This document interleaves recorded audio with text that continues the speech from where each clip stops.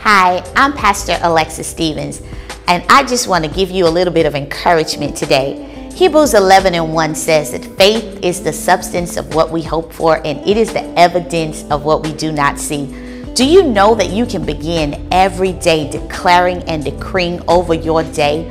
You can speak in advance of the kind of day that you want to have. And then as you go through your day, no matter what challenges you may face, you will know that it's already okay because I've declared in my day. I want to encourage you don't just wake up and allow life to do whatever it's going to do in your day. No, begin to take authority over your day and declare and decree today is going to be the best day of my life. Get your faith up and know that you have the victory.